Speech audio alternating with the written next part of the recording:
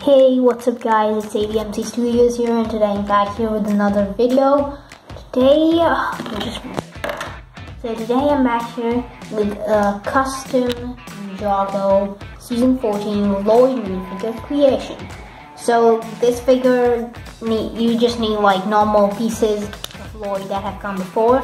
It's nothing like you have to paint or anything. It's very simple, so let's get started. So first you'll need this. Uh, yeah. So first you'll need the se season 7 Lloyd minifigure legs. You can find something else if you don't have it. I don't, I have it so I'm just gonna use this.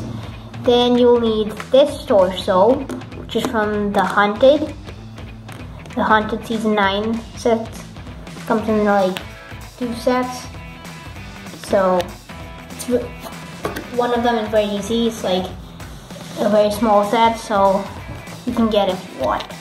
Then you have this half mask, which comes for many of the Lloyd figures from the Legacy 2 wave, uh, the season 3 ones. You can also get you can also get them from like the original rebooted sets if you have them. And then of course you'll need a Lloyd face. Normal Lloyd face. Let me just get this. And yeah, need that.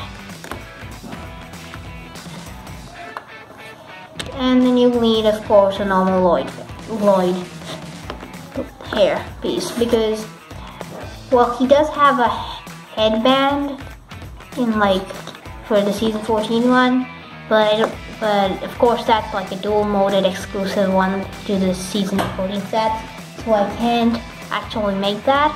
You can make something of paint or something like that, but I don't want to ruin the hair and the face, so I'm just going to keep it like this.